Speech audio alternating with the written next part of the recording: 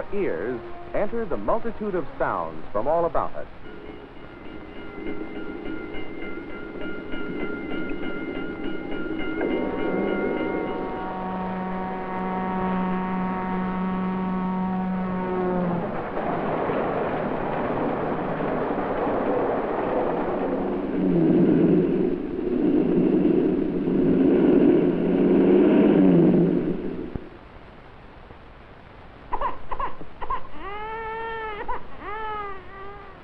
We had quite a trip up there to the lake.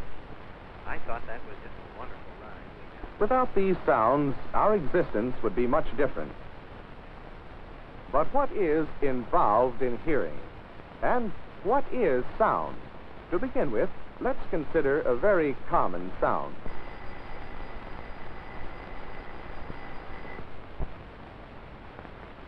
As the hammer strikes the gong, molecules of air are set into waves or patterns of motion. These waves, shown here schematically, act upon the ear, which then transmits nerve impulses to the brain. This is what happens whenever we hear a sound. Sound waves enter the ear through an external opening.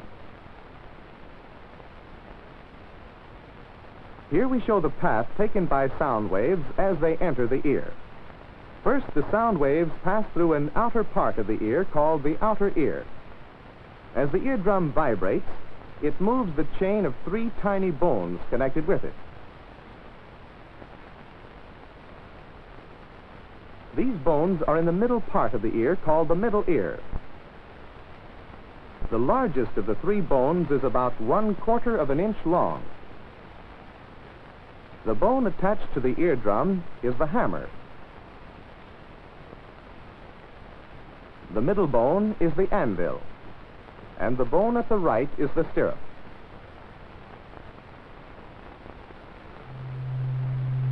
In this view, we're looking into the middle ear.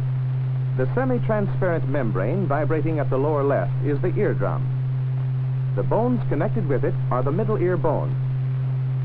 This is the sound that is causing the eardrum to vibrate.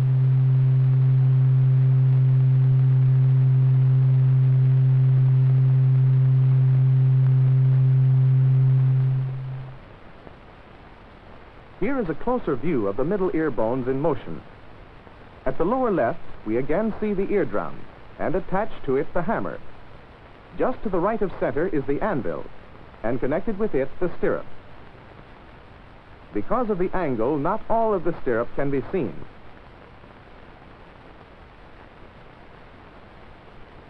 We can see how small the middle ear bones are by comparing them with the head of an ordinary pin.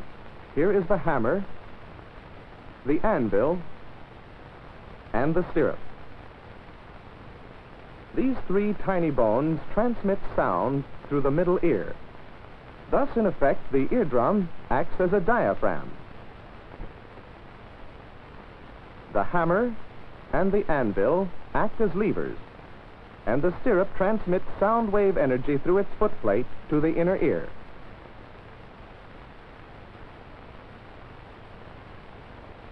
Is a close view of the inner ear, or labyrinth, as it is often called. The upper part, shown in a lighter shade, is concerned with our sense of balance. The spiral lower part, the cochlea, is involved in hearing. There are two openings or windows into the cochlea. The stirrup fits into the uppermost opening called the oval window. The stirrup transmits sound waves through the oval window to the fluid in the cochlea. If we could uncoil the cochlea and open it, we would see three chambers inside filled with fluid. The central chamber separates the two outer chambers, except at the tip.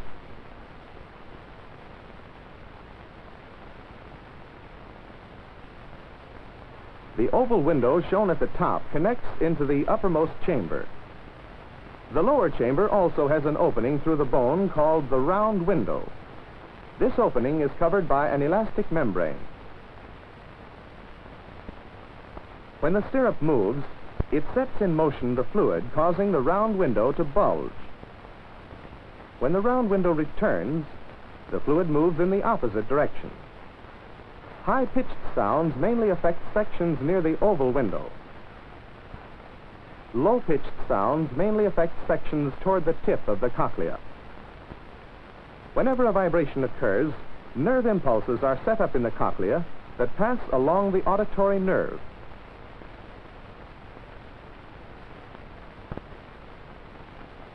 From the auditory nerve, the nerve impulses go on to the brain. This is how we hear. Most of the impulses reaching either ear go to the opposite side of the brain.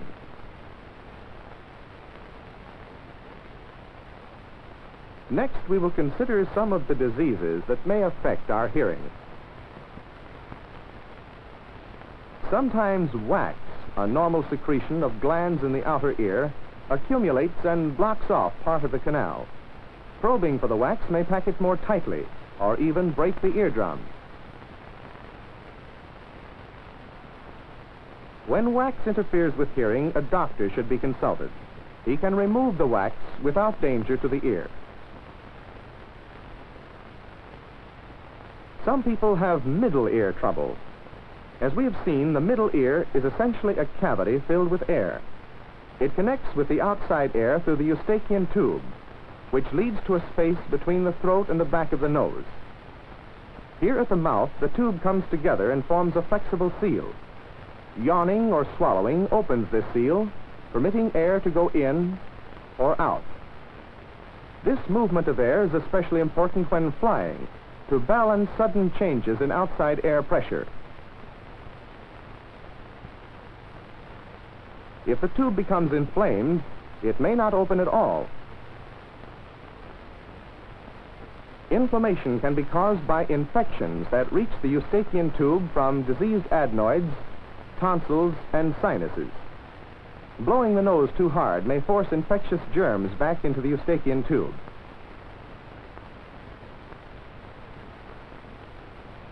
If the tube fails to open properly, air, indicated by the large arrow, becomes trapped in the middle ear. Gradually, oxygen in the trapped air gets absorbed, and this creates a partial vacuum in the middle ear. As this vacuum forms, the outside air pressure forces the eardrum inward.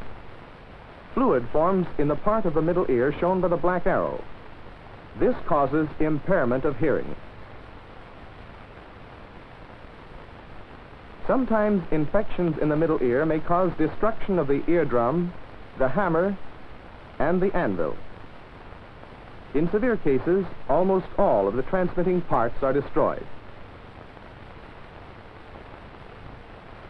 An electrical hearing aid may help restore partial hearing. With the use of a hearing aid, the handicap of deafness can often be overcome. A hearing aid is a miniature public address system that amplifies the intensity of sounds and transmits them to the ear. The receiver fits into the outer ear.